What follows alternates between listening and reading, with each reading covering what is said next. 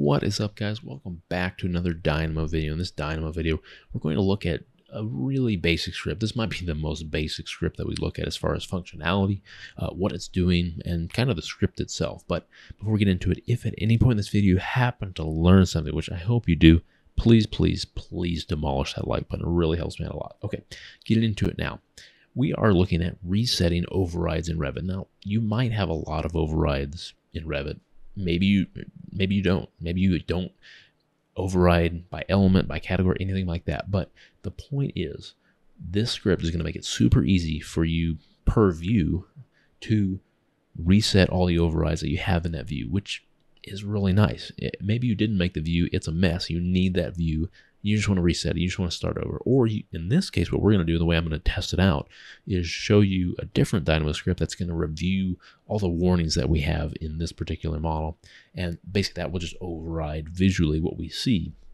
I have I've done that and I've got that script in a completely different video, so check that out first uh, to get an idea of what we're doing here, because I'm not going to go over the review warning script in this video, but what I'm going to do is actually run that script so we have something to work with um, as far as overrides, and then we can see what the reset overrides Dynamo script will do. All right, so here we go. I, have got review warnings. I'm going to play this right here, and of course, the way I built it in is that I need some inputs. Am I ready to proceed? Yes. What warning type do I want to look at specifically or turn red? Um, let's look at this one in particular.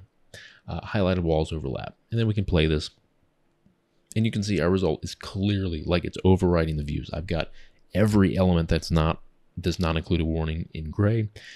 Warnings that do populate in this view orange, and then the one specifically to this type of warning that I've selected, highlight walls overlap, those are in red. So anyways, this is great. It's cool. It's doing its thing. I don't care about this actually, but what, because what I care about is resetting the overrides in this view. All I've done at this point is introduce a bunch of overrides uh, because if I select this element, I can see that editing these overrides clearly I have a ton here that I don't want to have to come over here to select. I don't even want to select everything all at once then come to override by element and then reset, like press the reset button. I don't even want to have to do that, which is why this script exists.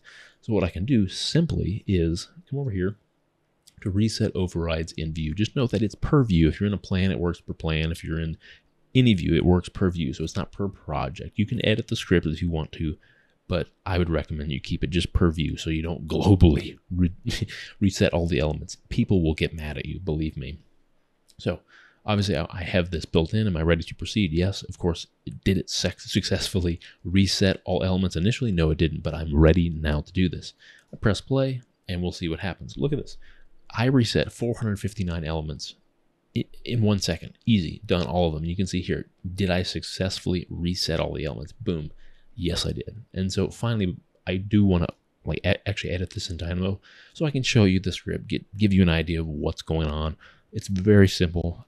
It it's going to do exactly what we just saw, which is take any view that you're looking at, reset those elements, and then be done. Move on with it. Just report did it work, and then how many elements.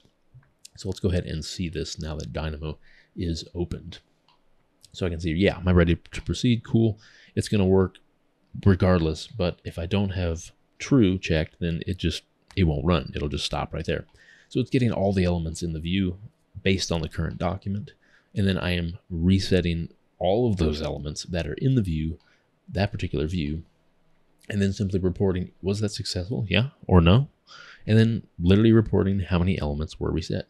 Easy. So easy. This is this is a great starter script if you're trying to get into Dynamo. Just copy what you see here, or I'm going to leave this, of course, in the description below. You can download this for free, no issues there.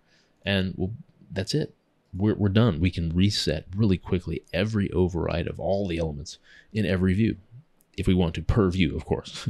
so that will do it for this video. I know this is a quick one.